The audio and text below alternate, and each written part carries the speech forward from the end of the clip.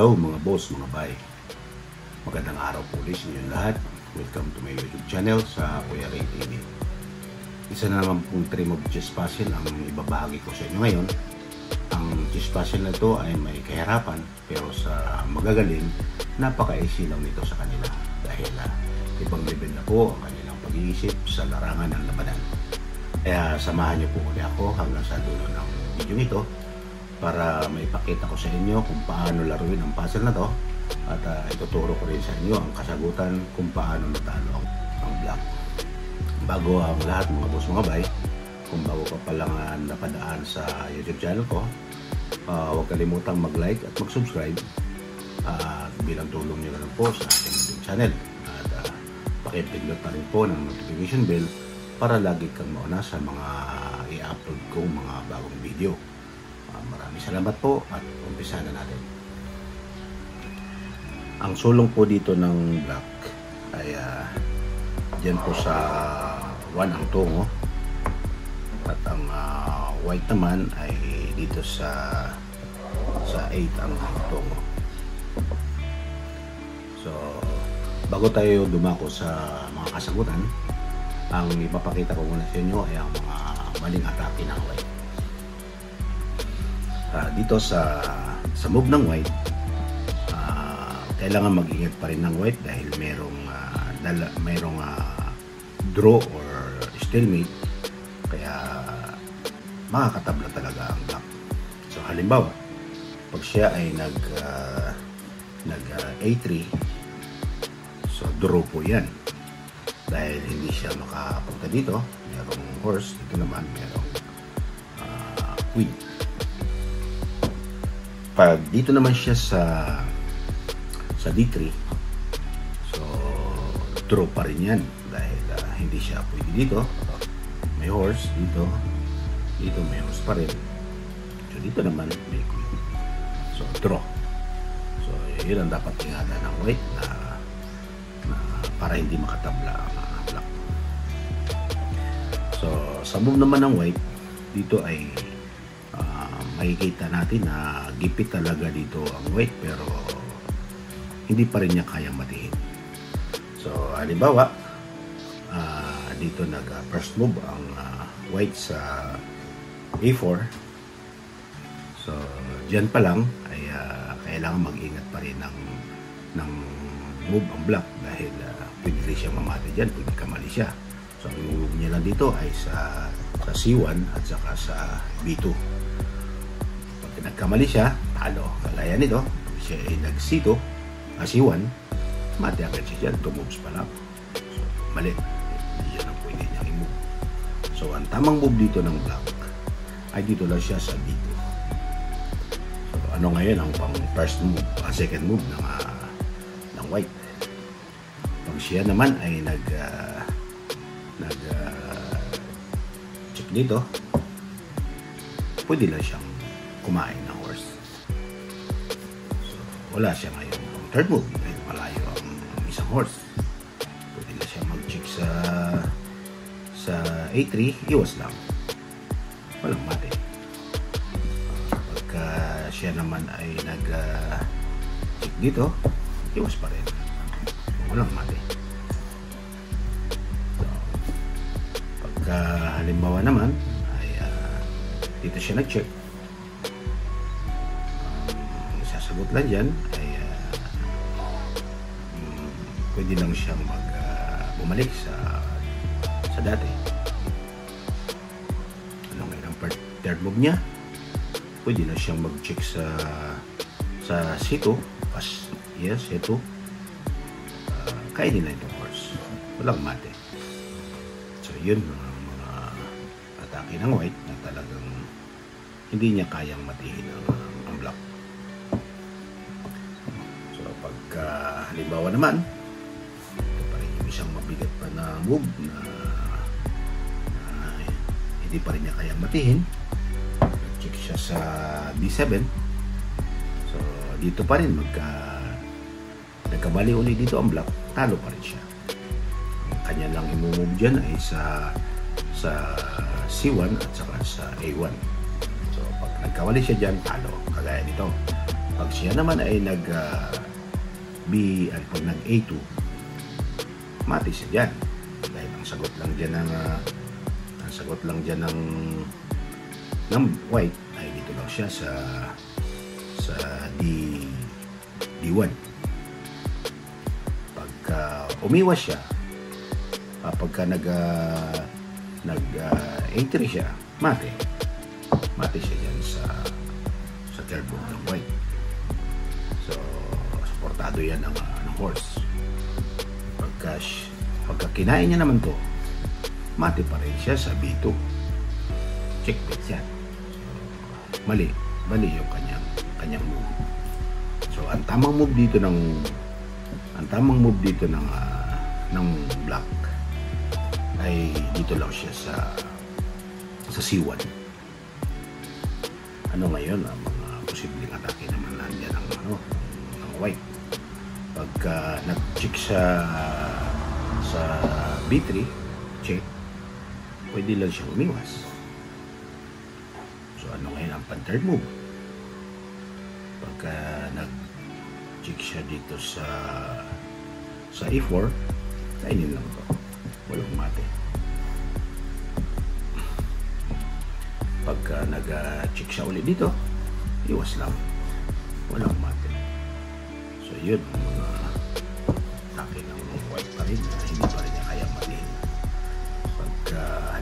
uli ay uh, pag dito naman nag-move ang, uh, ang horse yan ay draw. So dito naman siya sa move na gigipitin niya talaga ang, ang black so sa move na yan iisa na lang dyan ang pwedeng takbuhan ng, uh, ng black dito sa, sa C1 so pag nag C1 siya ano ngayon ang kanyang counter move pagka siya naman ay uh, nag uh, pag siya naman ay nag uh, check dito. Or dito check. So so walang ano yan. Walang uh, walang mati dyan. Eh, pwede kainin lang. So siya naman ay nag uh, third dito iwas lang walang mati pagka dito naman ganun pa rin. Iwas pa rin or dito move walang mati so yun ganun kahirap uh, matihin ang black kaya hirap ang white kung ano talaga ang kanyang uh, move na matatalo talaga black so yan po ang mga ginawang atake ng white na kahit anong gipit ng black hindi pa rin niya kayang matihin sa palagay niyo mga boss mga bahay, ano ang tamang move para matalo ang black? Kung gusto pa po ninyong isolve ang puzzle na to, post nyo lang po ang video para makita pa po ninyo ang winning move ng white. At uh, magbibigay po na ako ng mga ilang segundo para sa kasagutan ng puzzle na to.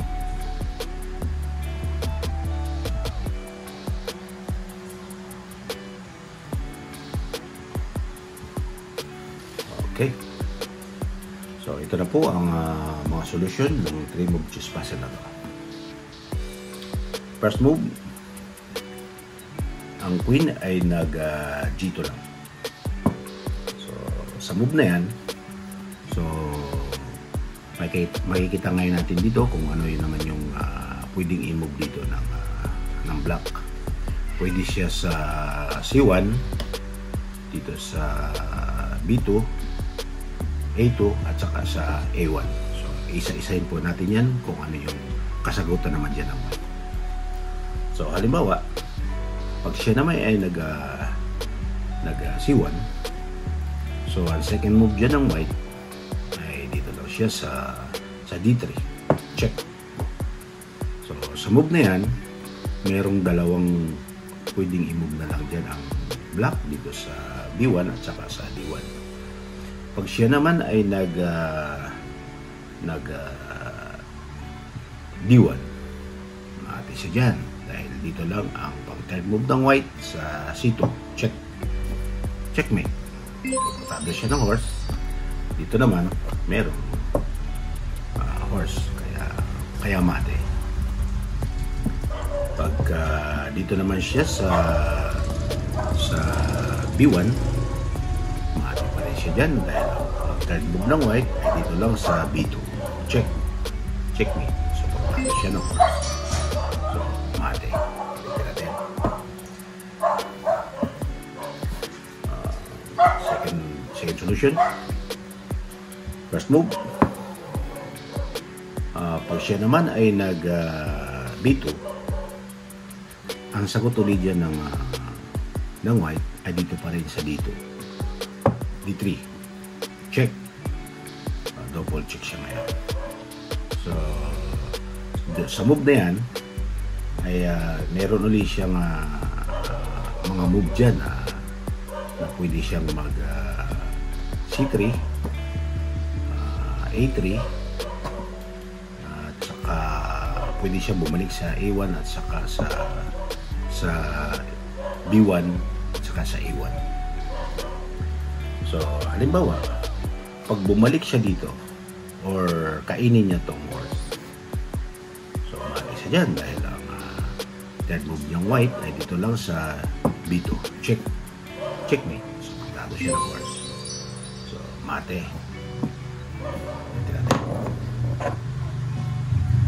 Pagka pagka dito naman siya sa sa A3 ang move dyan ng white ay dito lang siya uli sa A8 check. Checkmate so hindi siya pwede dito sa dalawang square na yan dahil merong horse dito naman sa white square na yan meron pa rin. Horse so dito meron. Queen kaya mate. So, natin. Pagka siya naman ay nag uh, C3 ang uh, trend move dyan ng white. Ay dito lang siya sa sa C2 check. Checkmate. So, hindi na siya pwede dito sa sa D4 at saka dito sa sa B4 dahil sakop yan ng horse dito naman merong merong king. Kaya mati yan. So dito natin. So next solution tayo first move. Pag siya naman ay nag uh, nag uh, A2 so ganun pa rin ang uh, second move ng white. Dito pa rin siya sa sa D3 check. So sa move na yan ay uh, meron na naman siyang pagpipilian uli na, na move dito sa A3 dito sa B1 at saka sa A1 pagka pagka nag uh, A3 uh, nag A3 siya rin siya dyan. Third move sa A8 check checkmate. So siya pwede dito dito orjado yan kaya, kaya mati so pag siya naman ay uh, bumalik uli dito sa B1 or kainin niya uli itong itong horse sa A1 mati ulit siya dyan sa B2 check checkmate. Wala talaga siya uh, pwedeng uh, iiwas. Talagang dun lang talaga kaya niya i-move. Natin. So dito tayo sa last solution. Um, first move. Uh, kinain niya ngayon ang horse ito na po yung last solution So, ganun pa rin ang uh, second move ng white dito sa D3. So, dyan, iisa na lang ang kanyang pwedeng move dito sa B1. Pag B1 siya, mati siya dito sa B2. Check. Checkmate. So, lalo na siyang walang iiwas dyan dahil nakadikit na po ang uh, queen. So, yan po ang matinding discount ng atake ng white na kahanap ng gawing iwas ng black. Mati talaga siya. Dahil sa bawat galaw ng black, may sikretong atake ng white kung paano matatalo ang black. Isa pa rin to mga boss, mga bay na pwede nyong ipalaro sa inyong mga kaibigan, kabarkada, katropa para may pagkakaabalahan habang walang ginagawa. Hanggang dito na lamang po. Marami pong salamat.